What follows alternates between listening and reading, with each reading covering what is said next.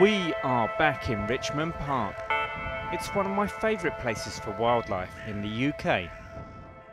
Every time we come here, we find something new. But there's one species you're pretty much guaranteed to see on every visit red deer. We spotted these two as soon as we entered the park. And then, just a few minutes later, we found ourselves almost completely surrounded. It's not advisable to get too close to these deer. Despite being so used to humans, they're still wild animals. But sometimes they approach you. Which gave me a great opportunity to film them up close.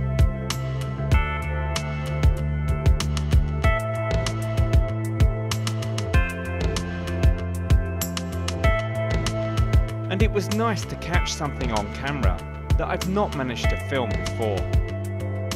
The starlings that follow the deer herds in search of easy food.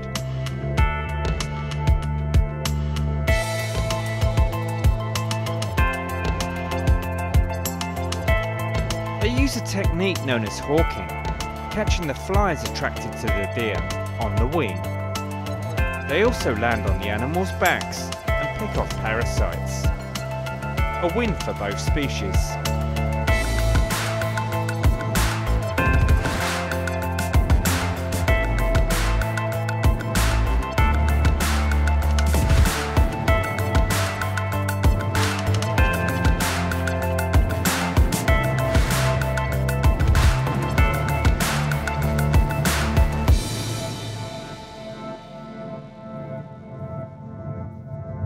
What have you got, Bella? Cinnabar moth.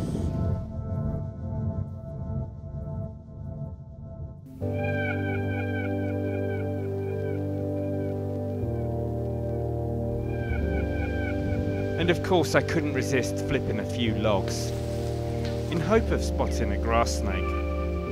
But the only reptile of the day was a new species for me in this location. Oh look!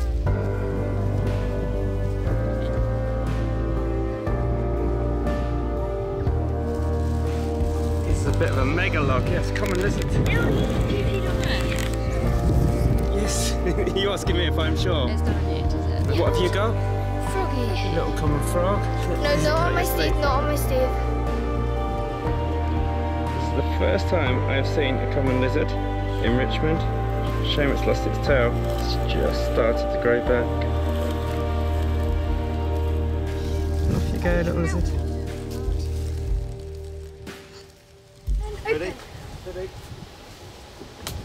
And the next log flip also revealed a pretty amazing sight.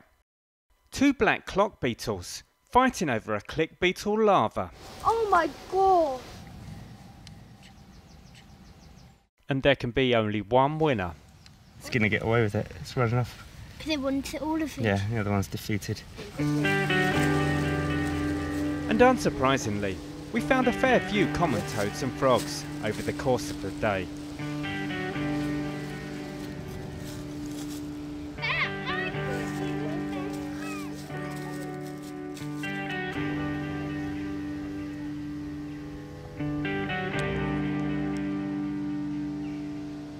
Speckled wood.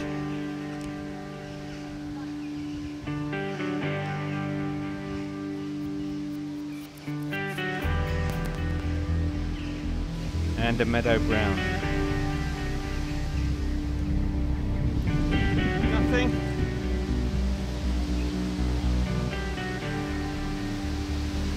Put it down really gently so you don't squash any tiny insects. Well done.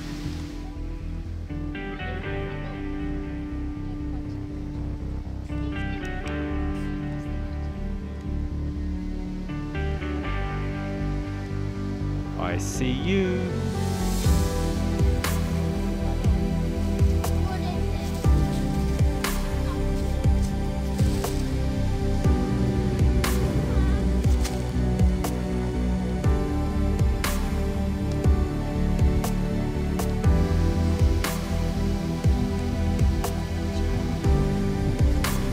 Another common frog.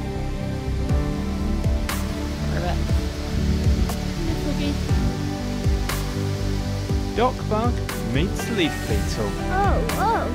Is that one scared of that one?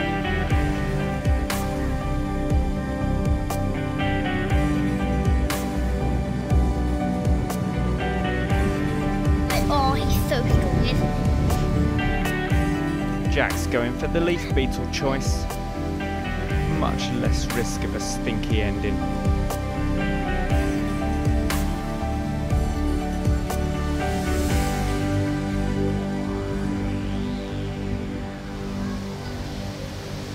Go, which way should I go down? And onwards to Pen Ponds.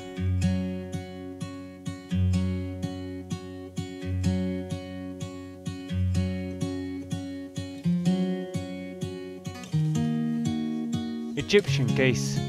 Numbers of this species have increased so much in the last few years in the southeast of England.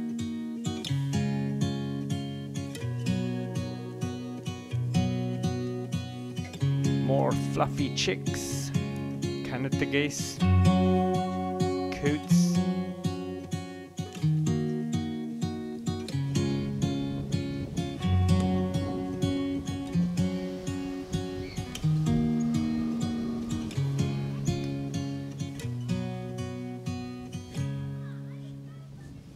And one tiny little mallard and its mum. There's another couple of chicks a little further along the pond with Dad.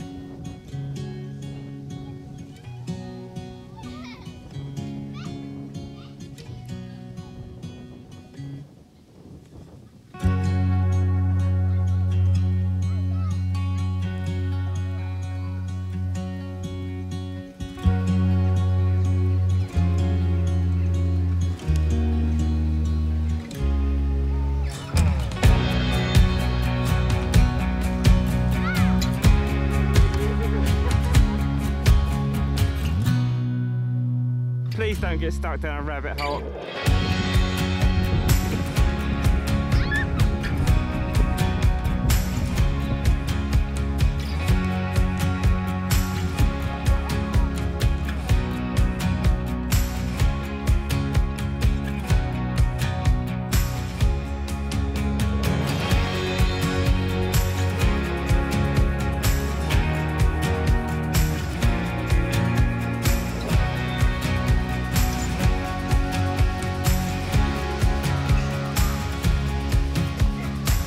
All in all, a windy but good day out.